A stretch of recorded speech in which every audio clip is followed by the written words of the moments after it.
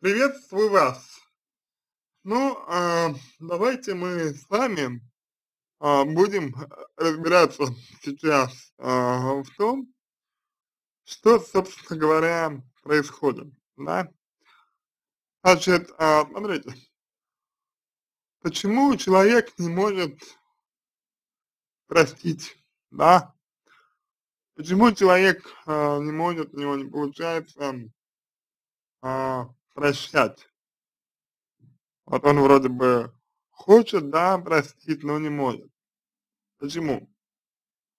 Потому что это закрепленная модель поведения, поведения с детства. То есть в детстве человек когда-то э, получил э, подкрепление подобного поведения.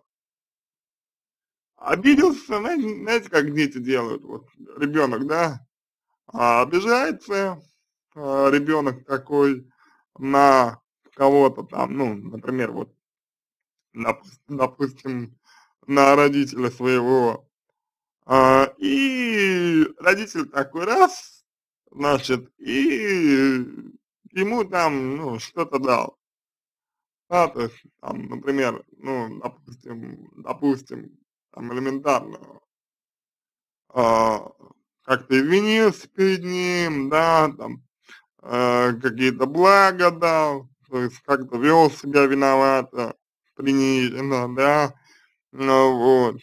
И ребенок такой смекнул, ага, если, соответственно, обижаться, если я буду обижаться, если я буду вот так себя вести, то, значит, меня что-то будет. Также, э, скорее всего, вам говорили, мол, вот, э, действительно он виноват, там, как бы, или я виноват, то есть свою вину признавали, понимаете? И как бы такое поведение, так, а, такое поведение закрепилось. Понимаете, какая штука? А, вот правильно вам сказал коллега мой, на самом деле. Вот лучше, чем он, наверное, сказать у меня не получится, потому что а, он вот идеально выразил а, мысль относительно прощения. Я просто хочу вам а, сказать, ну, донести лучше, лучше, э, лучше а, правильно а, выразиться, донести такую мысль, что как бы простить, простить, значит принять и понять. Простить значит полюбить. Оно в высшем, э, в высшем смысле, в классическом смысле этого слова. Полюбить, то есть принять. Вот без Бога, высших сил и так далее. Вот. Простить, значит, понять, почему человек это сделал, да, и как бы проэмпатировать ему, то есть прочувствовать его, прочувствовать его, например, ситуацию, в которой он оказался, и которая заставила поступить его именно так. А, понять его мысли. То есть именно понять. Как бы. И что самое главное, что самое главное, почему люди не могут простить? Они говорят, если бы ты так не поступил, да, то мы бы с тобой там были-были бы. Это вот то, о чем говорил мой коллега, перенос ответственности. Если бы ты так не поступил, то мы бы с тобой там были. Или если бы ты там это не сделал, то мы бы с тобой там что-то еще. Но ведь мотивы-то человека вам неизвестны. Мотивы-то человека очень редко бывают такими, что я просто хотел навредить, там, например, а, дяде Пете, да, или там дяде Васе, а, потому что он вот такой плохой, ну, там, дядя Петя или дядя Вася. Вот они такие плохие, я хот хотел им навредить. Понимаете, какая штука? А, вот. Это же очень редко такое, такое бывает. В основном, в основном, люди поступают а, так, так или иначе, потому что думают, серьезно, всерьез думают, что для них это, ну, самый лучший вариант. Для них нет, нет другого варианта, они не могут по-другому, а, как бы поступить, вот. И для них это единственный выход. Прощение – это понимание, прощение – это любовь, прощение – это принятие, прощение – это э, оставление выбора другому человеку. И как бы тут очень много вещей смешивается, да, например, если говорить о предательстве, ну, в каждом конкретном случае по-разному. Если говорить, например, о предательстве, то а, как бы человек, который предает, например, на него, на него обижаться вообще не на что, потому что предатель это тот, кто, знаете, как он, у людей ошибочное мнение на этот счет.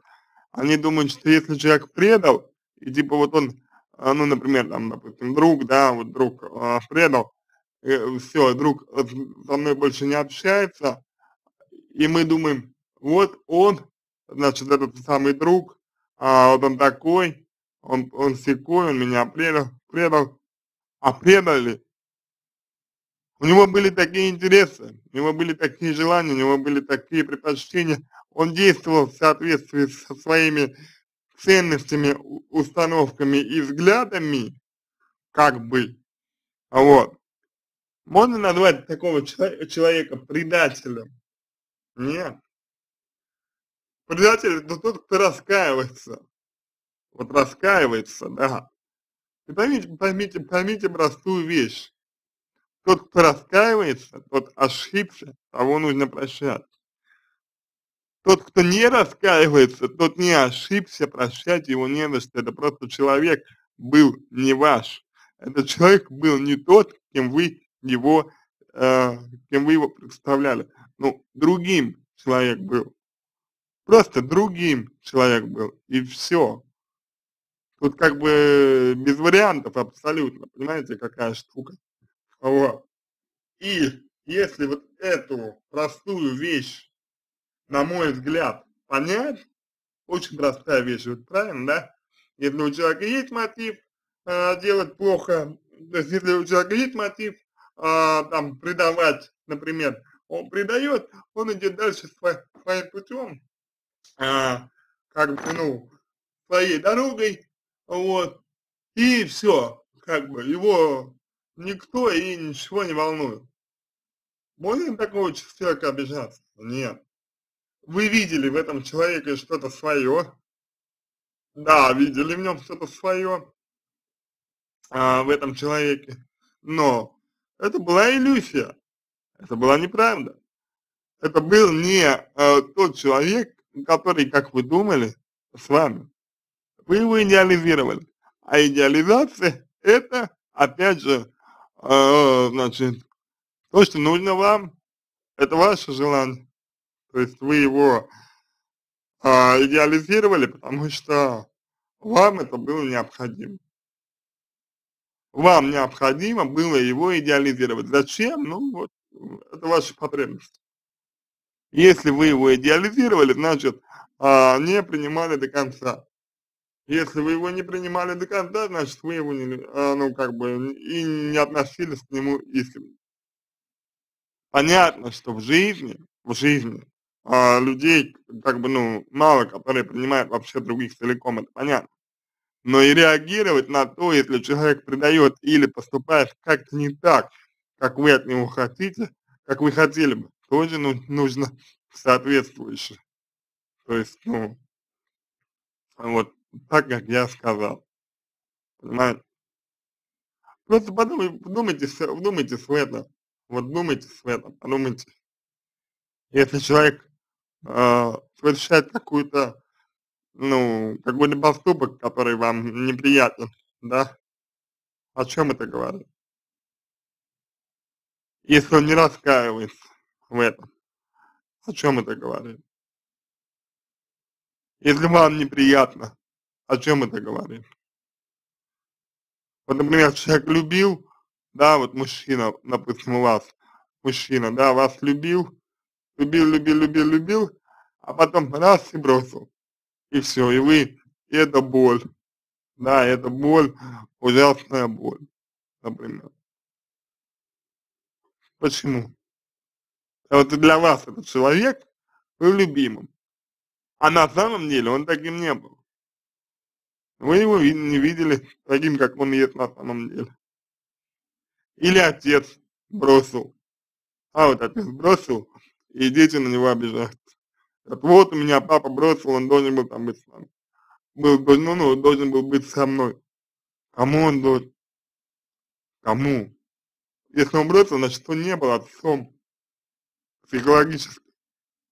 Вот. Да, биологический отец, конечно, биологический, но физиологически нет. Понимаете, какая штука? Биологически да, а психологически нет. Психологически человек, который бросает своего, своего ребенка, ему не отец. Как бы. Но дети думают, что вот у меня папа, он должен был. Откуда? Это стереотип. Все это рождается из стереотипов. Если человек, мы встречаем людей, а, мы встречаем кого-то, по нашему мнению, он должен вести себя так. Если он так, так себя не ведет, он плохой. Он плохой, нам нужно на него обижаться. А кто сказал, что он плохой? Кто это определил? Понимаете? Вот так. Я думаю, так можно, можно, можно ответить вам на вопрос.